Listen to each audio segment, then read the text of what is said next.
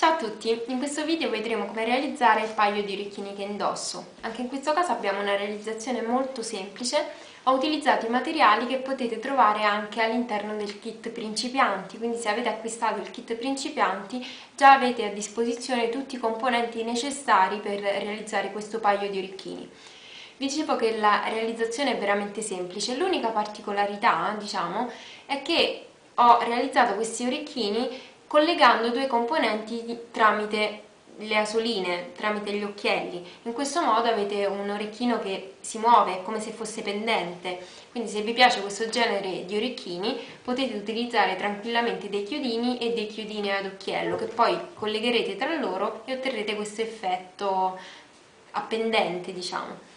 Come al solito adesso vi mostrerò gli orecchini più da vicino in modo che possiate vederli meglio e poi seguirà la lista dei materiali necessari per realizzare questo paio di orecchini e vi ricordo che la lista dei materiali è anche possibile consultarla all'interno del box informazioni che si trova proprio sotto al video.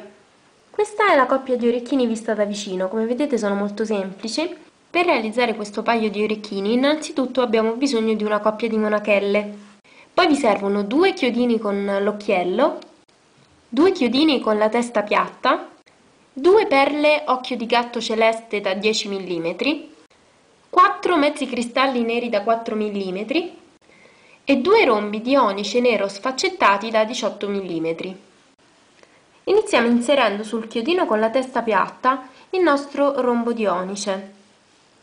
Poi con le pinze a punta conica o a punta piatta andiamo a piegare il nostro chiodino in questo modo e con le tronchesi andiamo a tagliare il chiodino in eccesso, ce ne lasciamo circa un centimetro, anche un pochino meno, per realizzare un occhiello, una solina. Per realizzare la solina prendiamo le pinze a punta conica, impugniamo il chiodino non proprio all'estremità, come vedete, delle pinze a punta conica e cominciamo a ruotare le nostre pinze. In questo modo.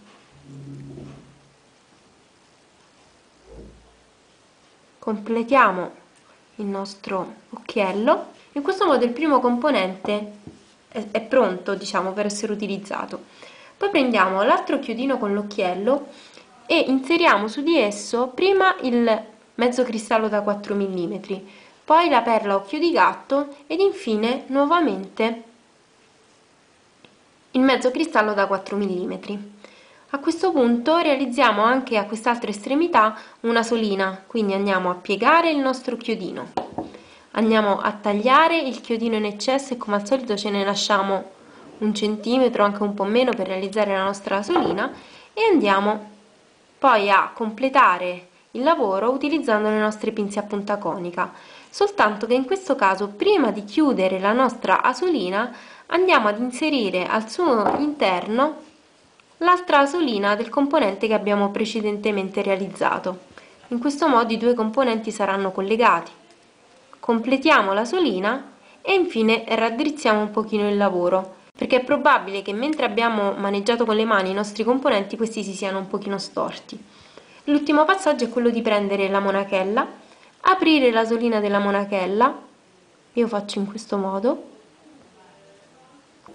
e poi inseriamo la solina libera all'interno della solina della monachella e chiudiamo nuovamente la monachella. In questo modo l'orecchino è terminato. Spero che gli orecchini nella loro semplicità vi siano piaciuti, vi siano utili, soprattutto vi siano di ispirazione. Spero che tutti i passaggi per realizzare gli orecchini siano stati chiari e ci sentiamo al prossimo video. Ciao!